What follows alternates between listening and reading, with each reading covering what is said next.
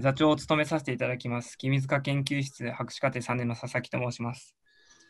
えっと、続いてご講演をいただくのは、北海道大学電子科学研究所の平井健二先生です。え平井先生は、えっと、光と物質のが強く相互作用する、え条件下、強結合と呼ばれる条件下での分子の振る舞いや反応特性について、え研究されておりまして、近年、えそういった条件下で化学反応の選択肢が変わるということが報告されて、え研究領域が発展しています。えその分野の、えで先駆的な報告を、え平井先生はされています。えでは、えついえ早速ご講演に移らせていただきたいと思います。え発表タイトルは、え量子揺らぎを利用した有機反応と自己集合です。よろしくお願いします。えっと、ご紹介ありがとうございます。えっとまあ、まずはじめに、えっと、幹事の皆さん、えっとこのような機会を作っていただきありがとうございます。北海道大学の平井です。でまあ、私あの、学生時代は京都大学のあの北川進研究室で、えー、合成配合分子、えー、PCP 研究をしていました。でその後、えーと、いくつか場所を移動しまして、えーまあ、ちょうど2年くらい前から、まあ、今日紹介させていただく、えー、光共振器を使った研究を始めています。で今日はあの量子揺らぎを利用した有機反応と自己集合という題目でお話しさせていただきます。であのまあ、聴衆には大学院生の方多いと思いますので、あのまあ、現象と分野の背景から紹介させていただきます。よろしくお願いします。でえっとまあ、光を使った研究をしている方が多いと思いますので、あの釈迦に説法だと思いますが、えー、光というのは、えっと、電磁波の一種です。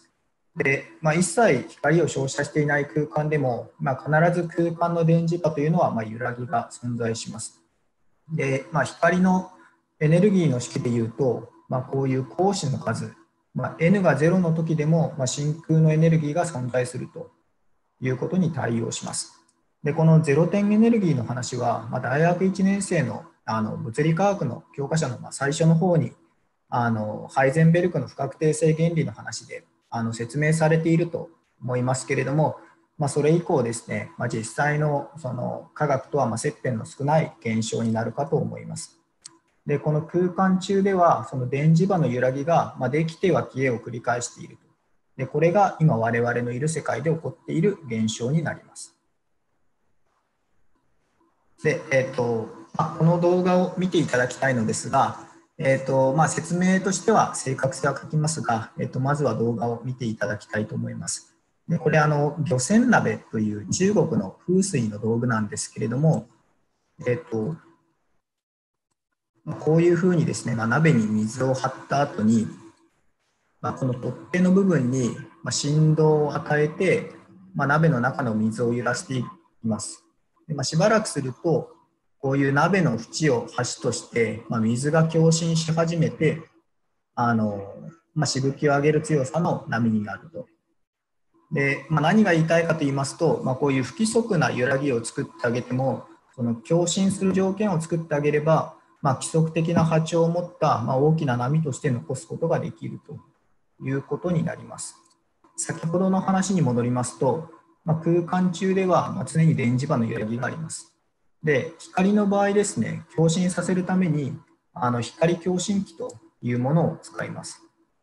でこの、まあ、光共振器、いろいろ種類あるんですけれども、まあ、今回この光共振器、えーと、光を反射する2枚のミラーが向かい合ったものを使います。で、このミラーの位置と波の節の位置が一致する波が、まあ、存在しやすい、ま、共振する条件というのを作ることができます。で、この基準振動からまあ、倍音、3倍音、まあ、低倍音とあの存在しやすいエネルギー順位が、えーまあ、光共振器によって規定されます。で、このそれぞれの順位のことを共振器モードと言います。で、この開放空間では、まあ、様々な波長の、まあ、波ができては消えを繰り返していた光も、光共振器中では、この共振器モードの順位で物質と強く相互作用するという現象を作ることができます。であのこの光共振器の中に分子を入れますと、えー、まあ、この時ですね分子振動の遷移エネルギーと、えー、光共振器のこの共振器モードのエネルギー順位が一致するとこの分子振動と共振器が強く相互作用してポラリトンと呼ばれる混成状態が作られます。でこの現象を、えー、振動強結合と言います。でこの振動強結合が起こると、ポラリトンの順位が分裂するラビ分裂という現象が観測できます。でこれはあの赤外分光測定で観測することができまして、えー、まあ、このようにですね、この UP と LP と書いてますけど、まあ、アッパーポラリトン、上子とローワーポラリトン、下子という、2つのエネルギー順に分裂しているのが、え、赤外分光で観測されます。で、まあ、このようにですね、光共振器の中に分子を入れると、まあ、分子振動が変調するということが、まあ、世界で初めてまあ2015年に、えー、観測されたということになります。で、まあ、この現象は、まあ、原理的には光を入射しなくても、その量子揺らぎによって起こるんですけれども、えー、まあ光子の数が大きいほど、えーまあ、その分裂の大きさが大きくなりますので、まあ、光をその外部から入射してあげると、まあ、より強い相互作用を作ることができます。でえーまあ、この現象を使いまして、まあ、最近になって、まあ、この振動強結合によって、え分子の反応速度が変化するということが報告されました。で、えー、こちらシリル機のあの脱離反応ですけれども、えー、この SIC の分子振動の繊維と、えー、この共振器モードが一致したときに、え振動強結合による、まあ、ラビ分裂が起こります。でこちら、えー、縦軸が、えーと、反応に伴う屈折率の変化を見ていまして、えー、この赤点が振動強結合化での反応になるんですが、えー、この共振器を使わない場合と比べまして、えー、屈折率が遅い、まあ、つまり、え、屈折率のま変化が遅いと、まあ、つまり反応速度が遅くなっているということが、まあ、世界で初めて、観測されています。でこの振動強結合による反応性の変化についてはあの、まあ、現在も議論の渦中にありまして、えーとまあ、理論の面であの一つ注目されているのがこのボルン・オッペンハイマー近似に、えー、この光子と、えー、電子光子と核の相互作用を導入した理論になります。でこの光子との相互作用を含めた、まあ、ハミルトニアンを使って、えーまあ、核の座標ですねと光子の座標に対する、えー、ポテンシャル局面を計算しますと、えーとまあ、こちら横軸が、えーと、光子との相互作用を表すラムダというパラメーターで、えー、この相互作用強度が大きくなる、まあ、つまり分裂強度が大きくなったときにより反応が低活性化するという結果が再現されています。その実験的にスペクトルとして見えているのはラビ分裂の分裂エネルギーになるんですけれども、えー、振動強結が起こることで、まあ、同時にポテンシャル局面が変化していることがあの予測されていまして、まあ、これが反応、えー、活性の変化だと、まあ、現状想定されています。で現在、あの実験結果を見ながらあの理論が更新されていっている状況でして、まあ、この点に関しては、まあ、引き続き議論が必要だとは思います。まあ、簡単にあの分野の、流れを書き出しますと、えーと、空間中のゼロ点エネルギーに関する原理が、えー、90年以上前に提唱されています。でその後あの光と物質の相互作用に関する、まあ、理論的な枠組みが整備されまして、えー、量子電磁力学、えー、カンタムエレクトロダイナミクスという分野として設立しました。で、まあ、1960年代には光共振器中でのあの物質との相互作用に関するあのジェインズ・カミングズモデルというものが提唱されまして、えー、まあ、この理論が現在でも用いられています。でえー、まあ、実験的にはですね、まあ、90年代から、まこの光共振器中で、えー、キシトンと共振器の共結合に関する報告が出始めています。でまあ、無機物、それから有機半導体で、その光共振器中でエネルギーの分裂が観測される、まあ、ラビ分裂が観測されるという報告がされています。で分子振動に関しては、まあ、もっと最近の話でして、現象自体が観測されたのが5年前です。でまあ、この辺りからですね、まあ、量子物理の一分野として発展してきた分野が、えー、まあ分子科学と接するところまで進展してきたということが背景になるかと思います。であの一言断っておきたいのがあの強結合の話になると、まあ、プラズモンの強結合の話が出てくるんですがま、今回あのプラズモン使っていませんので、まあ、光共振器を使ったあの真空エネルギーの話に、えー、限定して紹介しています。で、まあ、あの私もともと材料科学が専門でして、えー、まあ、我々あのこの光共振器によって混成状態あのプラリトンを使って、えー、化学反応の制御それから機能性材料の合成あの材料の機能を制御するという研究を進めています。で、まあ、分野としてはですね、まあ、科学者がかなりあの少ない分野でして、まあ、あれもできそうだ、これもできそうだとあのいろいろ試していまして、あのここ2年間で、まあ、まとまってきたテーマの中から、まあ、2つ紹介したいと思います。でえー、まずはですね、えー、まあ、有機反応への利用について紹介したいと思います。であの脱離反応についてはあの現象が観測されているんですけれども、一般的な有機反応でその特定の官能器の反応性を、えー、ま調整してあげれば、まあ、V 選択的な化学反応を起こすことができるだろうということを目標として研究を進めております。でえーと、原理実証のモデルとしまして、えー、アルデヒドまたはケトンの、えー、カルボニル基と、えー、ホモアリルアルコールのプリンス酸化反応を選びました。で、まあ、この反応では、えー、このカルボニル炭素に、えー、ヒドロキシル基がアタックすることで反応が開始します。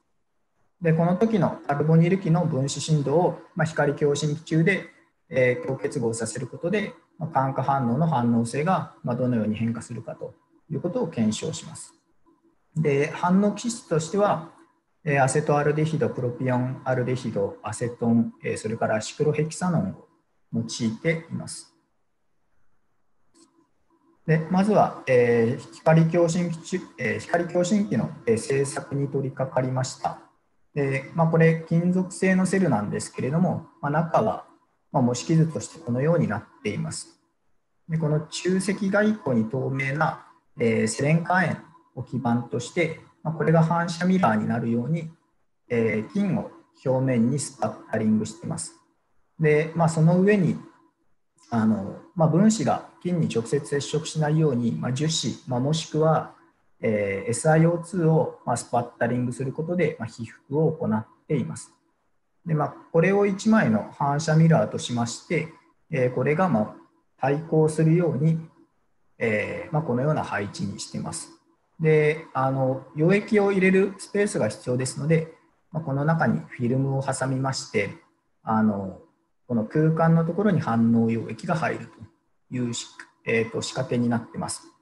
つまり、まあ、ここ、えー、上下のあの、まあ、反射ミラーに溶液が、え、挟まれるという構成をとってます。で、えっ、ー、と、まあ、この光共振器の中にですね、えーと、アセトアルデヒドを含む溶液を導入した、ま、赤外スペクトルがまこちらになります。で、まあ、外側からですね、プローブ光を入れまして、まあ、抜けてきた光を観測しています。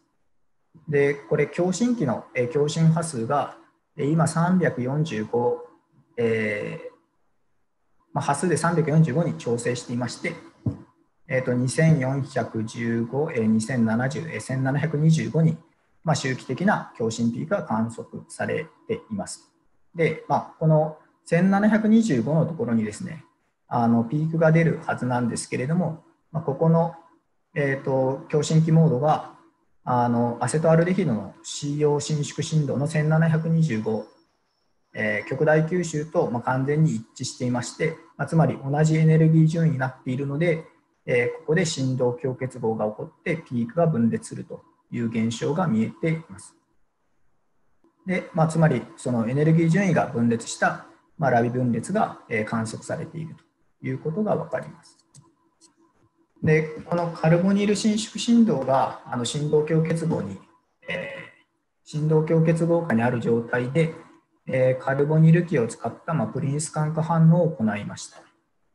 で2種類の、えー、アルデヒド、まあ、アセトアルデヒドと、えー、プロピオンアルデヒド、えー、2種類のケトン、アセトンと、えー、シクロヘキサノン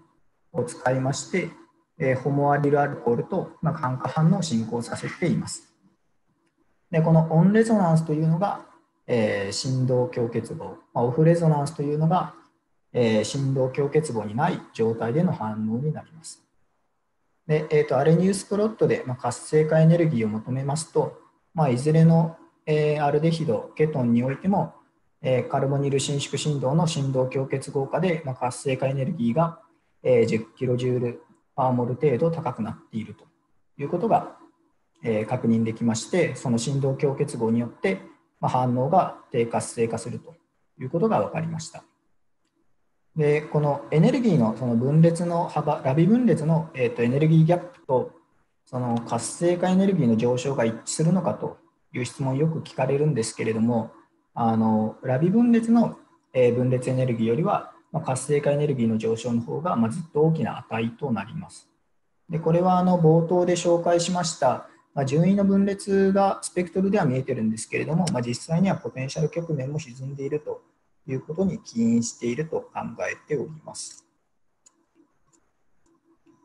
で、えーと、こちら、えーと、光共振器の模式図を示してますけれども、えー、このミラー間の距離、えー、これ D を変えると、えー、共振器モードの波数を、えー、変えることができます。で、この共振器モードの波数と、えー、これ、アセトアルデヒドを用いた、まあ、炭化反応のえ反応速度の関係をプロットしたものがこちらになります。でこの黒がアセトアルデヒドの、え CO 伸縮振動で、この赤い点が、ま共振器モードの波数と、まそれに対応する反応速度をプロットしたものになります。で共振器モードが、えこの CO 伸縮振動のピークトップと一致したとき、まつまりエネルギー順位が完全に一致したときに、ま最も低活性化していると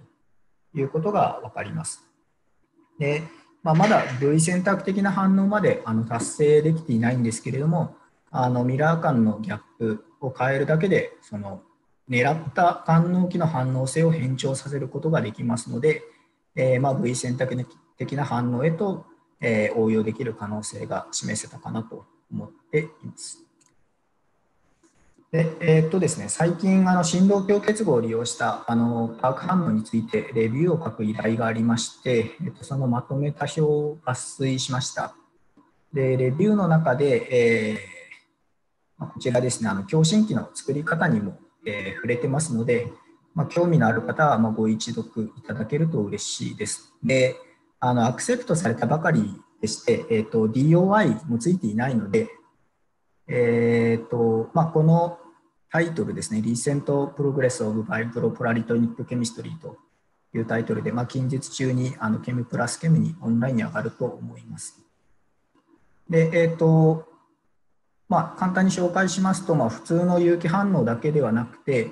まあ、最近ですね、まあ、こういう酵素反応も報告されてきています。でそれから、まあ、反応が減速するものと、えー、加速するものが報告されています。で加速されているものに関しては、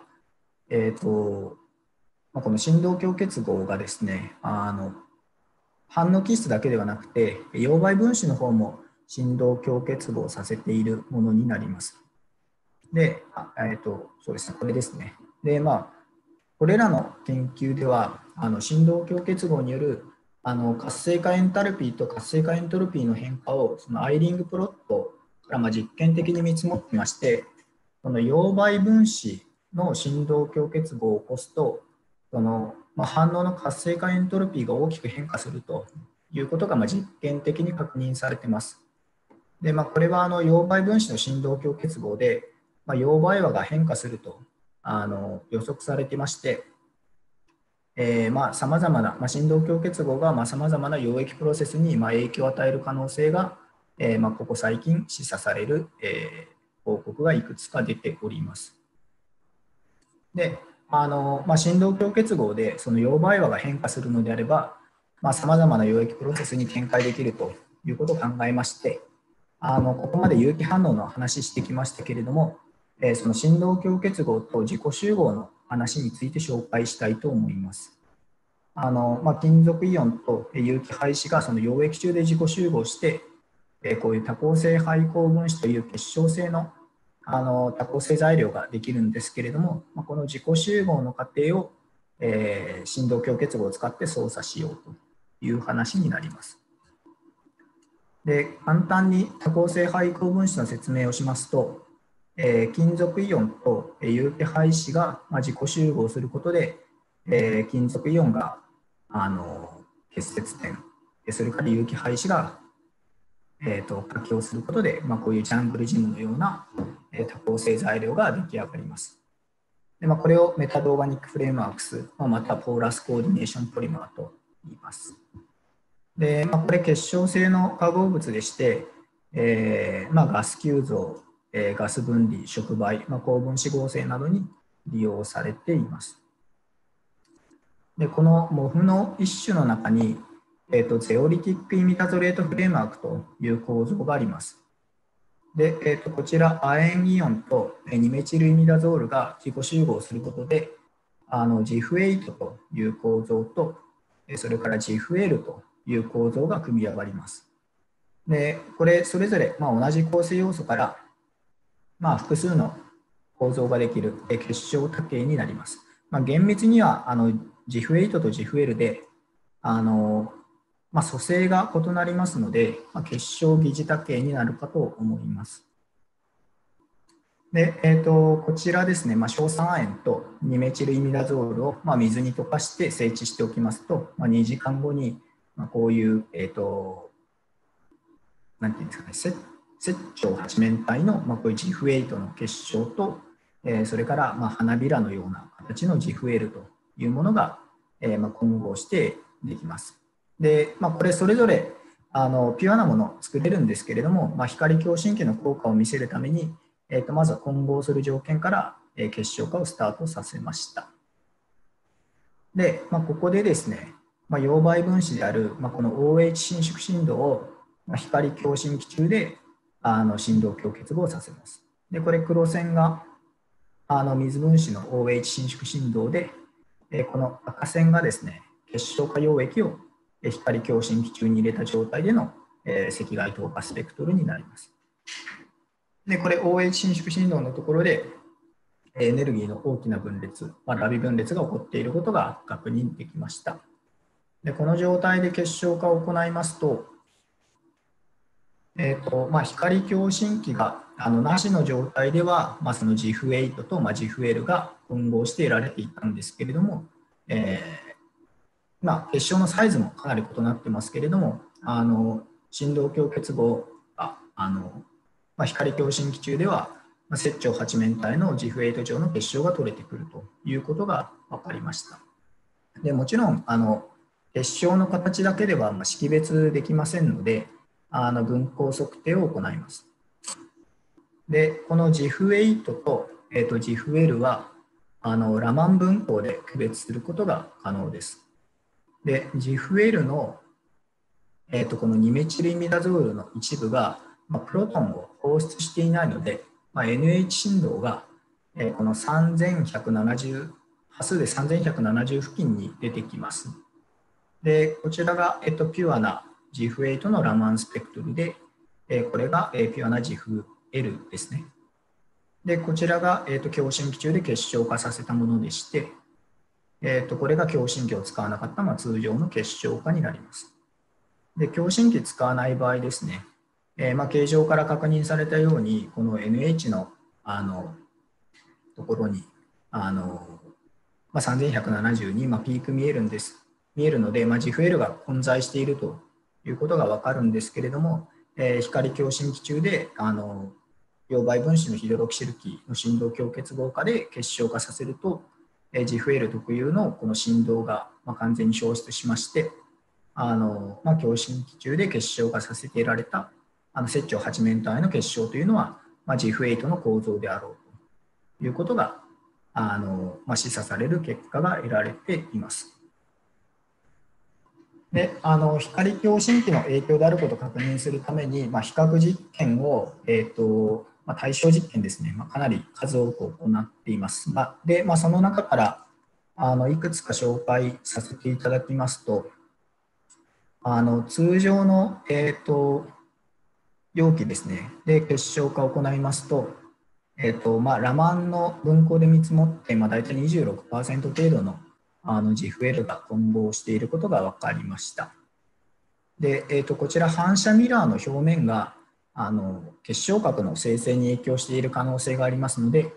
あのまあ、その反射ミラーの表面が結晶核生成に影響して、まあ、その結果結晶構造の選択性が誘導されているという可能性を消すためにあの光共振器となってないあの片面の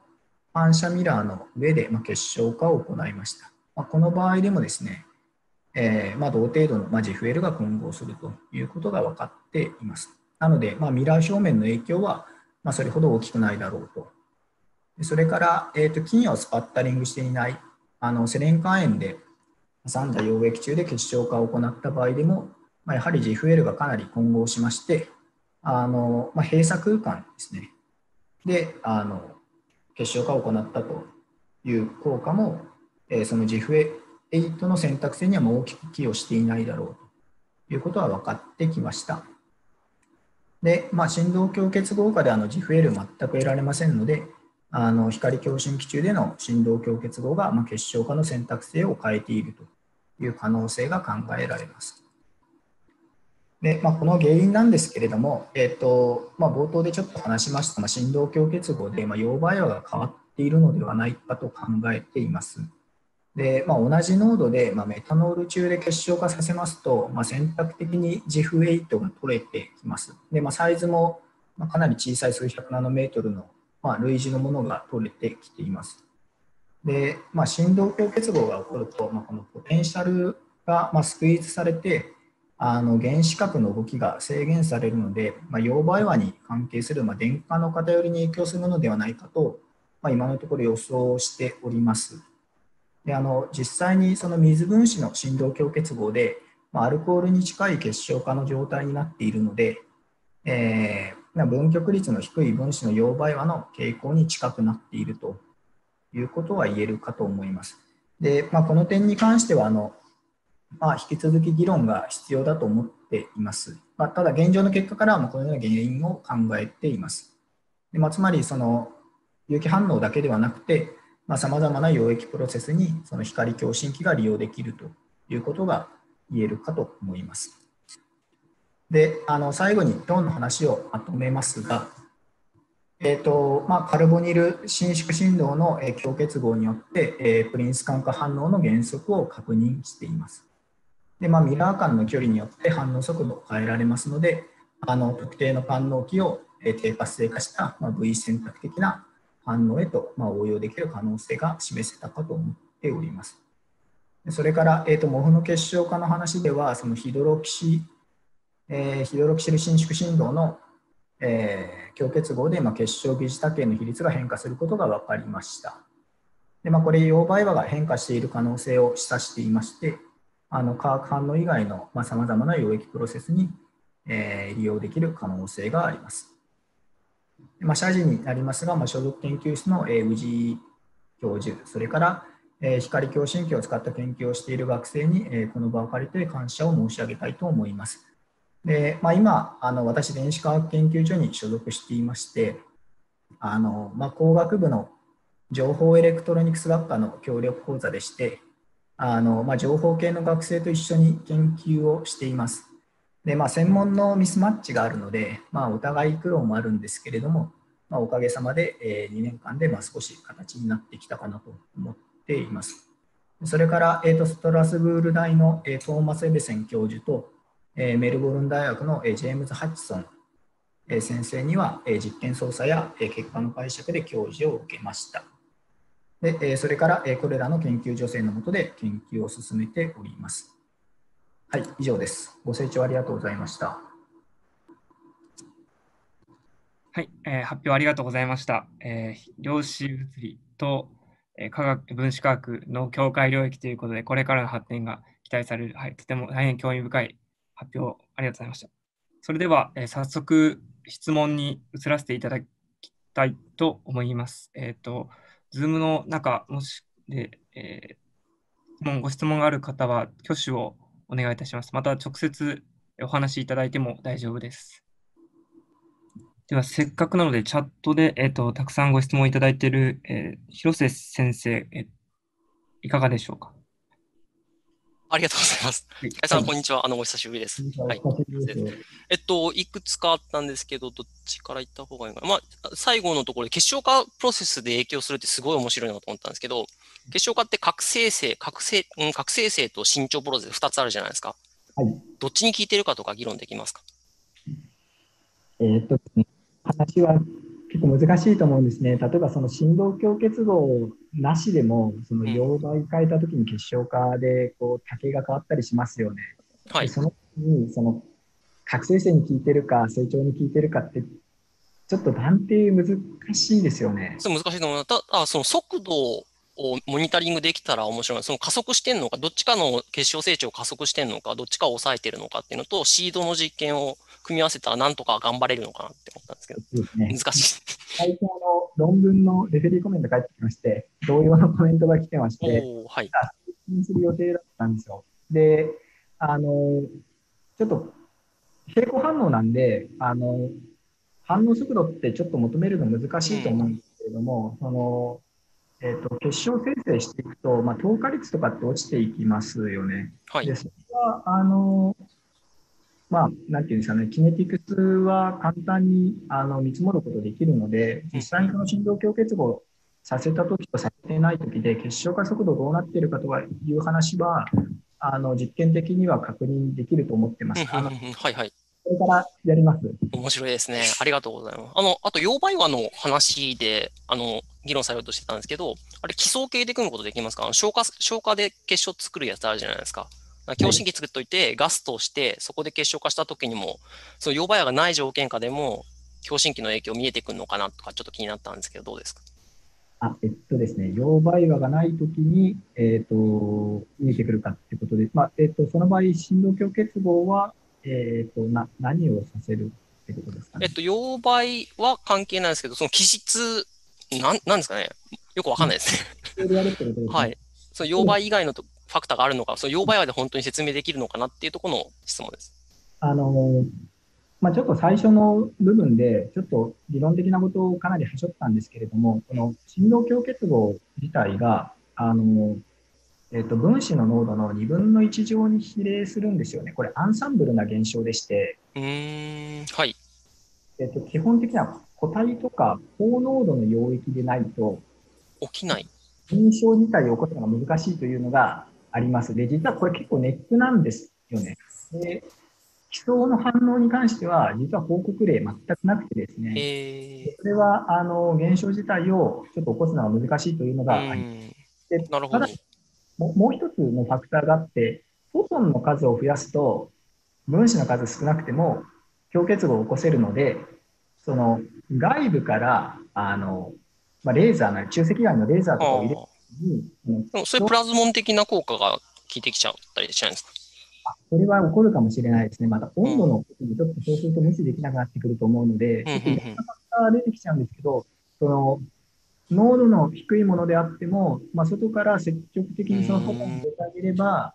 えっ、と、できる可能性はあるとは思ってます。なるほど、なるほどはい。面白いですね。あと、すみません、最後に素朴な質問なんですけど、強心器の場所によって効果って変わってきたりするんですか？あその中心部がいいのか、海面がいいのかとか。それはですね、えっ、と、それ、おっしゃる通りでして、えっ、と、電場の、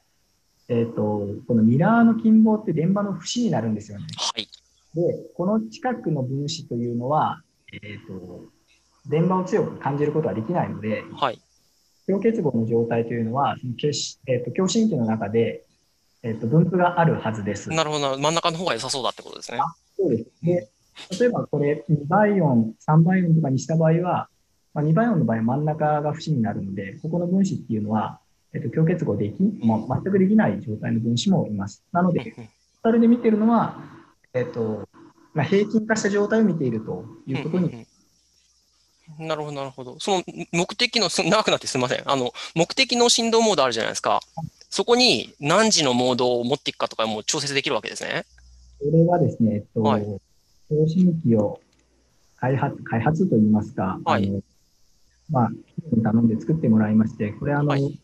マイクロスクリューという、あの、かなり小刻みに、あの、押し込める。ああ。じゃあ、フィルムが伸縮するような形ですか？そうです。あの、フィルムを挟んで、フィルムで素調整をして、このネジでなるほ、ど、なるほど。なんかアンビルセルみたいな感じですね。あ潰しながらこう、分かっちゃう。ははは、面白いです。いや、また教えてください。むっちゃ面白かったです。ありがとうございます。ありがとうございました。あ、ちょうどせっかくなので、その同じようなところでご質問なんです、質問なんですけれど、あの、今回は2分の1波長、えっと、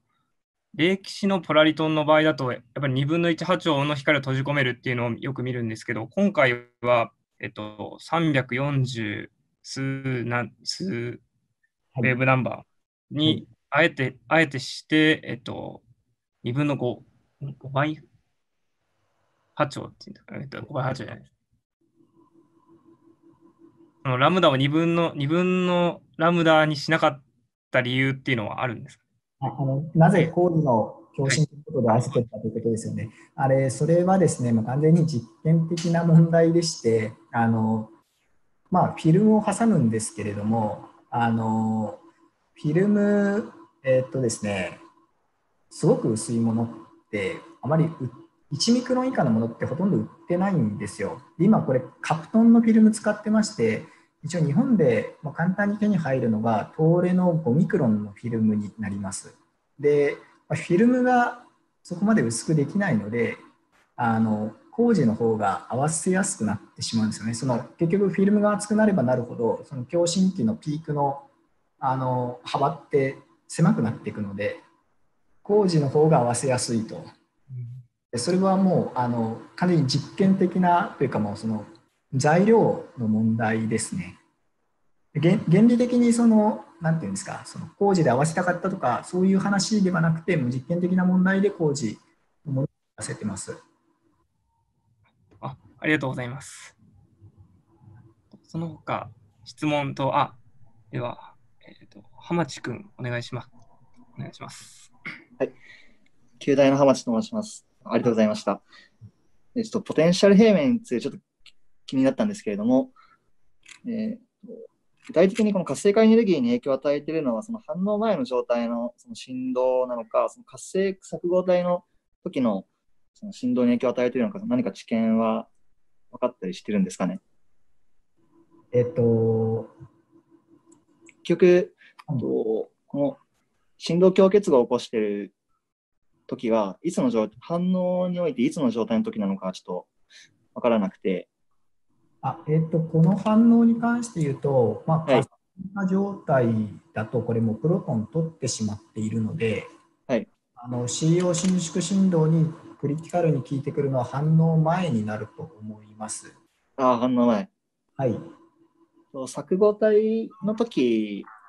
あに影響はないんですかね。そあそれは多分そも難しいですね、説明が。そもそもはい。あ、どうぞ変わっちゃうのかな？はい。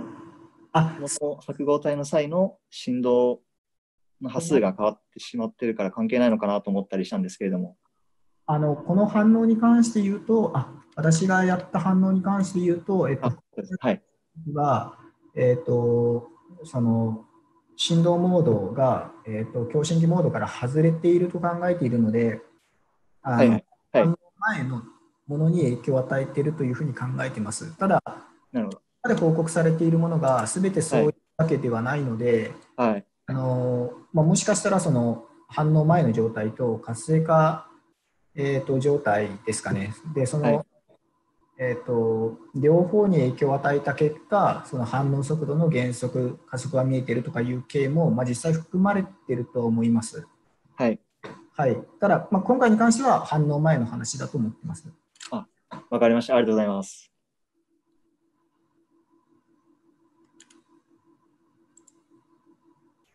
はい、ありがとうございます。えーでは、えーその他質問と、あ、ちょちょっといいですか？あ僕も質問が、あ、あ、いいいですかね。あ、本当に、はい、あの、面白いお話ありがとうございます。なんか、本当に、そうですね、いや、プラズモンとかを、まあ、というか、こういうその物理的なあれで科学ずらすっていうのは本当に、なあんまり聞かない話だったんで、とっても、はい、興味深く聞きました。えっと、ちょっといくつかあるんですけど、ちょっと手早くいくと、一つは、なんか安直に、まあこれ YouTube のチャットの方でもあった質問なんですけど、なんかまあ、温度を変えるっていうのはおそらくあの論文の中でもやられてたような気がするんですけど、こういうなんかデバイス作った時に結構なんかそういう温度変えた時に、なんかその本当に、えっ、と、まあ、例えばその、新種とかでなんか変わったりとかしそうな気もちょっとしたりして、そういったテクニカルな面でなんか上限下限が出てきそうな気がするんですけど、その辺ってどういうあの感触ですか？えーっとですね、温度に関しては、まあ、あの経全体の温度っていうのはコントロールしてるんですよね。ただ、その局所的な温度がどうなってるかっていうのは、点としてはやっぱないんですよね。現象としては、その温度を上げたときにはあの反応加速するので、今回減速が見えてるので、あのまあ、温度の影響がないということは言えないんですけれども、減速に関しては強結合の効果が見えているというふうに考えています。なるほど。あありがとうございます。えっと、ですもう一個だけ、えっと、あの、なんか分裂してるっていうのを、そのスペクトルのトランスミッタンスでお見せ、あの、あ見見させていただいたと思うんですけど、あれ、あの、いや、ピークがそのトランスミッタンスがあの上がる方に出てるじゃないですか。あの、だからいわゆる吸収ピークとは逆の方向におそらく出てるように、あの、まあ、見る、見ることもできると思うんですけど、なんかあの、あ、すみません。なんでこんな質問するかっていうと、あすみません。チャットの方でや山田哲平先生が質問されてるのとちょっと関係してて、あと、まあ、さっきの議論で、その IR コを照射して、あの、まあ、ちょっとどうなるっていう話があったと思うんですけど、まあ、要はその、吸収してくれるのかっていうところが、なんかちょっと、このスペクトルからどう判断できるのかなって、少し思いまして、まあ、つまり、ローアーポライトン、アッパーポライトンっていうのが、そのトランスミッタンスのピークとして観測されてて、そこはなんか、つまり、吸収しなくなってるところなような気もするんですよ。あの、ちょちょっとなんか、その辺の整理を、あの、少ししていただけるとすごく嬉しいという質問です。はい。まあ、スペクトルに関して言いますと、えっと、この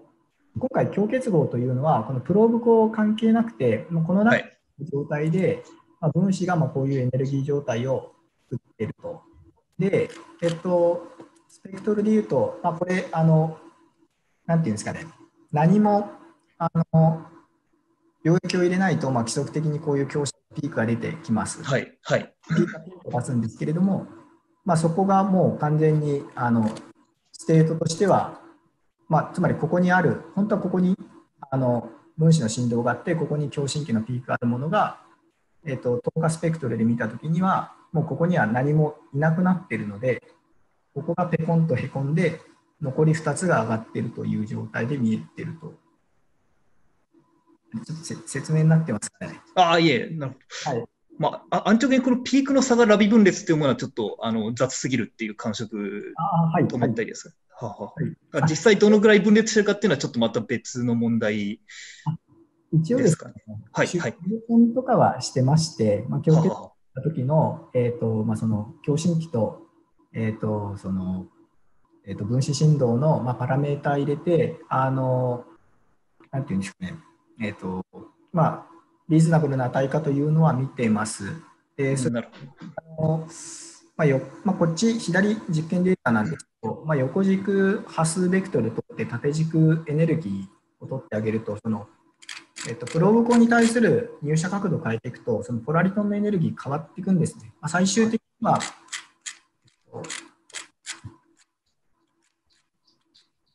あすみません、ちょっと A 入れてないですね。えっと、完全にその、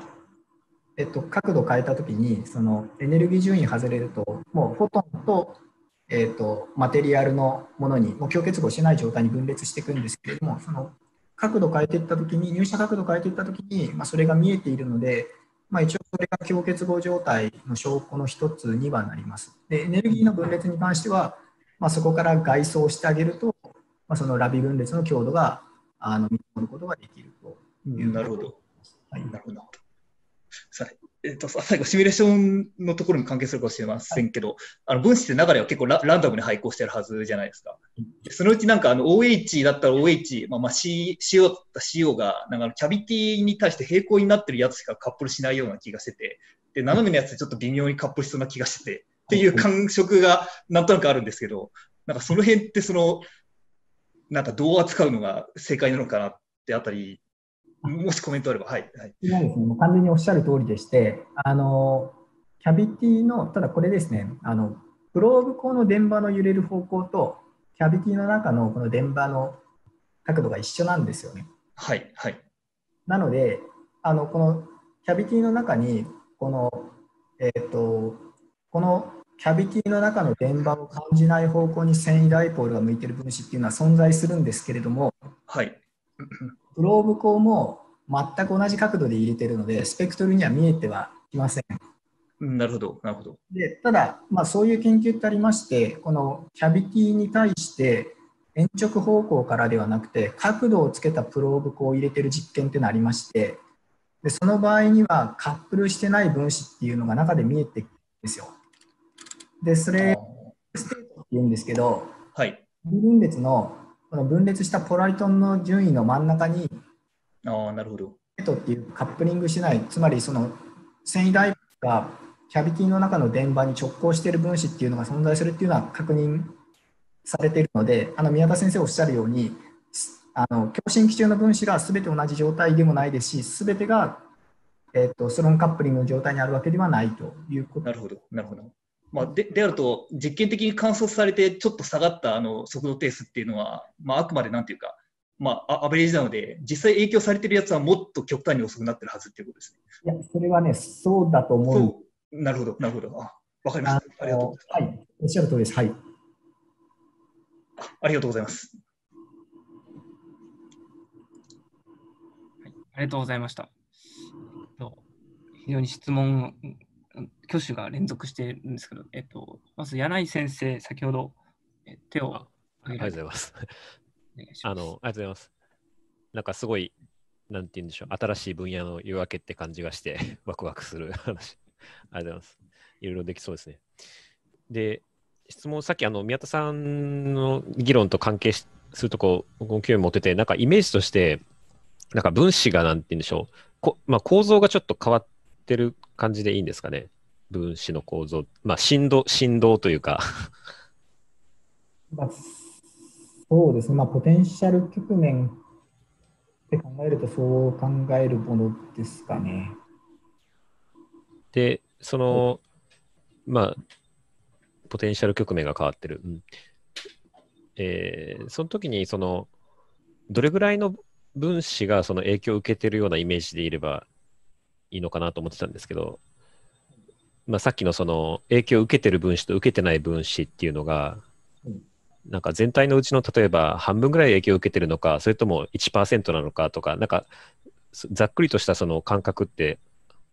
どどんなふうに捉えたらいいんですかね？あえーっとですね、あのこの強結合をどれくらいしてるかっていうのは、はい。この共振器のクオリティと、はいそれから分子の吸収の強さとかにうん関係するので、うんあの一概に何パーセントっていうのはもう K によって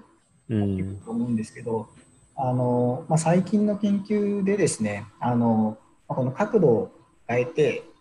プローブを入れたときに、そのカはいップリングしてない分子が見えるっていう話が、うん。カップリングしてない分子っていうのが、まあ、かなり割合で言うと少なかったので、うん。まあ多少なりともその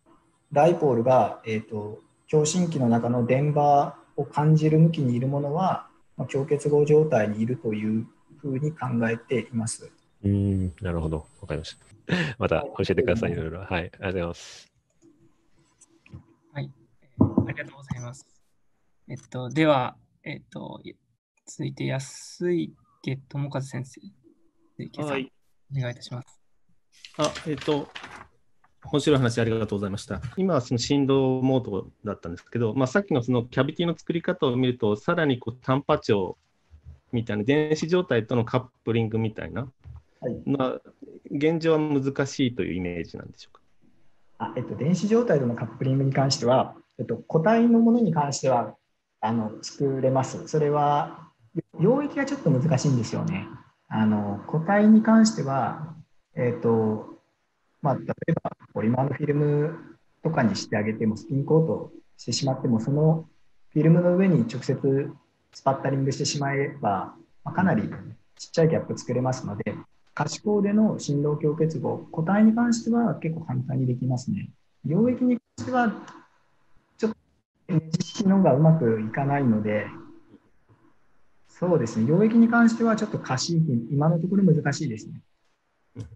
はい、ありがとうございました。大変面白い話。失礼します。はい、ありがとうございました。えっと、時間がかなり来てますので、最後に短い質問とございましたら、お願いいたします。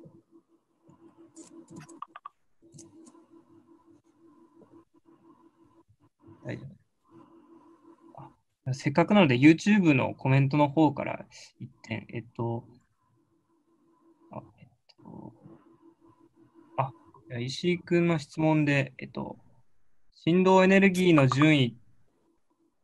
から、えーローアポラリトン状態の緩和過程の時間ダイナミクスを解析した研究っていうのはあるかどうかっていう質問。それはあります。で、あの、えっと、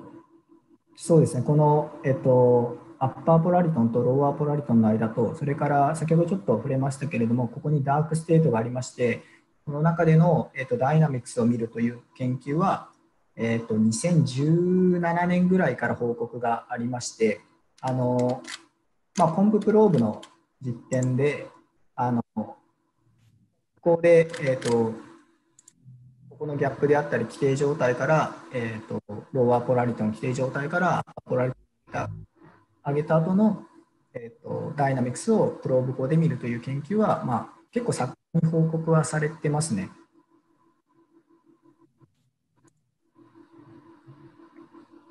はい。ありがとうございます。多分大丈夫。ちょっと質問がたくさん出てきているんですけれど、えっと、このあたりで、はいえー講演を終了させていただきます。はい、ありがとうございました。ありがとうございました。